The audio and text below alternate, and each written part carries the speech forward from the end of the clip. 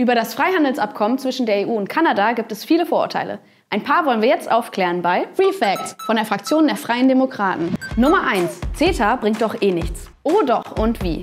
Das Abkommen erleichtert den Handel, macht Lieferketten belastbarer und verbessert Zugänge zu Technologien sowie kritischen, also in Europa begrenzten Rohstoffen. Ja. Nummer 2. Okay, Kanada profitiert, aber die EU? Excuse me? Die EU profitiert extrem von CETA. Unter anderem, weil rund 98 Prozent aller Zölle zwischen der EU und Kanada abgebaut werden, weil europäische Unternehmen dadurch im Jahr rund 590 Millionen Euro sparen und weil das Bruttoinlandsprodukt der EU pro Jahr um etwa 12 Milliarden Euro steigt. Nummer 3. Klima- und Verbraucherschutz werden reduziert.